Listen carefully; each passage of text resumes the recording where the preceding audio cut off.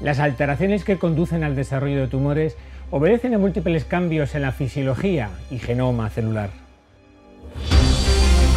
En leucemias y otros tumores denominados sarcomas se producen intercambios de grandes fragmentos de ADN entre cromosomas distintos, fenómeno conocido como translocación cromosómica.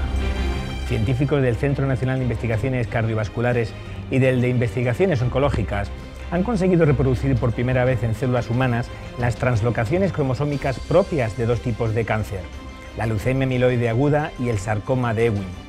Los investigadores han demostrado que es posible producir modificaciones en los cromosomas de células humanas idénticas a las observadas en leucemias y otros tipos de cáncer. El trabajo ha sido publicado en Nature Communications. En el estudio se ha utilizado la tecnología puntera del 2013, denominada IRGI, siglas en inglés de endonucleasas guiadas por ARN o CRISPR-Cas9. Los autores del trabajo concluyen afirmando que el empleo de esta tecnología permitirá además esclarecer cómo y por qué ocurre la translocación cromosómica, lo que sin duda permitirá abordar nuevas terapias frente al cáncer.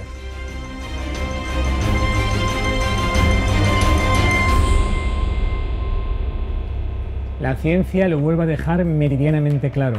No existe relación alguna entre las vacunas y el autismo.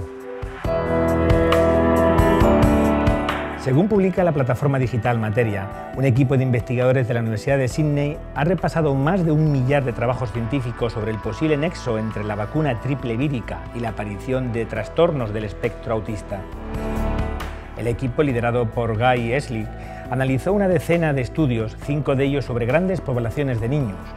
Todos estos estudios abarcaron casi 1,3 millones de niños en Reino Unido, Japón, Polonia, Dinamarca y Estados Unidos. De media, se siguieron a los distintos grupos durante más de ocho años tras la inmunización. El metaanálisis no proporcionó ninguna evidencia de relación entre las vacunas y el autismo y por tanto defiende que se continúe con los programas de inmunización de acuerdo con las directrices nacionales.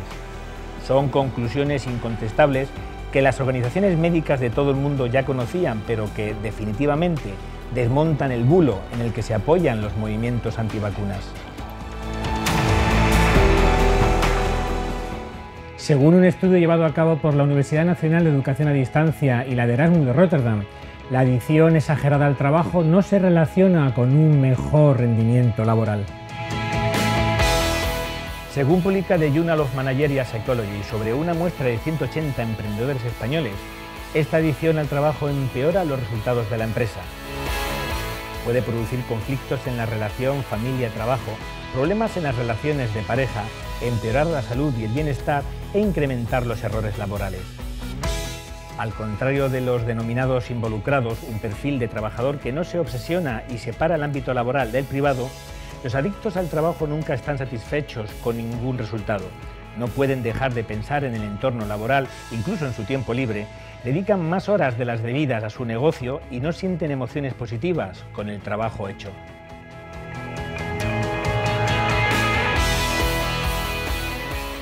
Para los autores, la dependencia obsesiva al trabajo es tan dañina como la adicción al juego, a las drogas o a Internet. Para María de Televisión, José Antonio López Guerrero.